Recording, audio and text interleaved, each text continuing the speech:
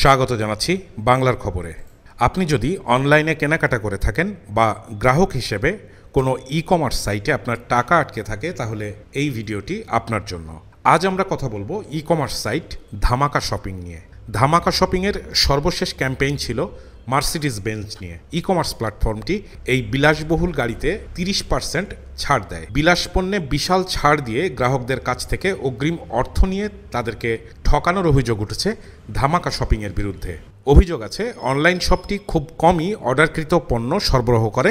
এছাড়া প্রতিষ্ঠানটি গ্রাহকদের টাকা রিফান্ড দেয় না বলেও অভিযোগ রয়েছে। নতুন এই ই কমার্স প্রতিষ্ঠান প্রথমে দেশের শীর্ষস্থানীয় সংবাদপত্রগুলোতে বিজ্ঞাপন দিয়ে ক্রেতাদের আস্থা অর্জন করেছে। তারপর ছাড়ের প্রলোভন দেখিয়ে অনলাইনে ক্রেতাদের কাছ থেকে মোটা অঙ্কের অর্থ সংগ্রহ করেছে বলে জানা গেছে। এবছর এপ্রিলে ধামাকা সিঙ্গার ব্র্যান্ডের ডবল ডোর রেফ্রিজারেটর পঁয়তাল্লিশ হাজার টাকায় বিক্রির অফার দিয়ে গ্রাহকদের কাছ থেকে অগ্রিম অর্থ সংগ্রহ করে। ফ্রিজটির প্রকৃত দাম পঁচাশি হাজার টাকা। কিন্তু অনলাইন শপটি জুন পর্যন্ত তিন মাসে একটি পণ্য কোনো গ্রাহককে সরবরাহ করেনি বলে অভিযোগ পাওয়া গেছে। এদিকে আগের ক্যাম্পেইনের পণ্য সরবরাহ না করেই ধামাকা আরেকটি ক্যাম্পেইন শুরু করে। এবারের ক্যাম্পেইনে অনলাইন শপটি তিরিশ শতাংশ ছাড়ে মার্সিডিজ বেঞ্চ বিক্রি করে। এবার ষাট দিনের মধ্যে পণ্য সরবরাহের প্রতিশ্রুতি দেয় প্রতিষ্ঠানটি। গ্রাহকদের আস্থা অর্জনের জন্য অনলাইন শপটি কিছু শীর্ষস্থানীয় সংবাদ মাধ্যমে বিজ্ঞাপন দিয়ে এই ক্যাম্পেইনের প্রচারণা চালায়। অত্যন্ত দামি এই গাড়ি কম দামে বিক্রির অফার দিলেও মার্সিডিজ বেঞ্জের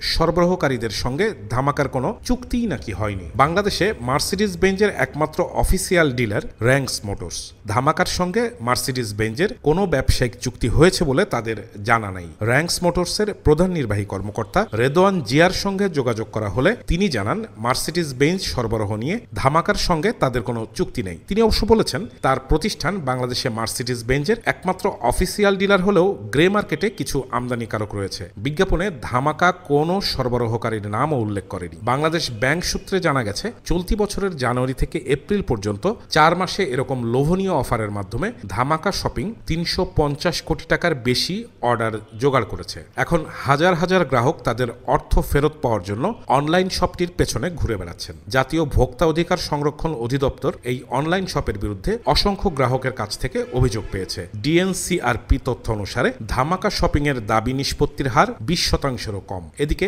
সিআইডির প্রাথমিক তদন্তে সন্দেহ প্রকাশ করা হয়েছে যে ধামাকা দেশ থেকে প্রায় পঞ্চাশ কোটি টাকা পাচার করে দিয়েছে। তদন্তকারীদের তথ্য অনুযায়ী গ্রাহকদের কাছ থেকে অগ্রিম পণ্যের অগ্রিম মূল্য হিসেবে এই টাকা সংগ্রহ করেছে ধামাকা। তারপর এ টাকা অন্য লোকের ব্যাংক হিসেবে স্থানান্তর করা হয়েছে। সিআইডি সূত্র জানিয়েছে, ডাবল টাকা ভাউচার, সিগনেচার কার্ড সহ অন্যান্য অস্বাভাবিক মোটা ছাড়ের লোভনীয় অফার দিয়ে হাজার হাজার গ্রাহকের সঙ্গে প্রতারণা করছে ধামাকা। সূত্রটি আরও জানায়, এরকম জালিয়াতির মাধ্যমে সংগ্রহ করা অর্থ বিদেশে পাচার করা হচ্ছে। ধামাকা শপিং যাত্রা শুরু করে গত বছরের নভেম্বরে। এরপর থেকেই প্রতিষ্ঠানটি মোটরসাইকেল সহ বিভিন্ন পণ্যের উপর চল্লিশ থেকে পঞ্চাশ পার্সেন্ট পর্যন্ত বিশাল ছাড় দিয়ে গ্রাহকদের কাছ থেকে প্রচুর অগ্রিম টাকা সংগ্রহ করেছে।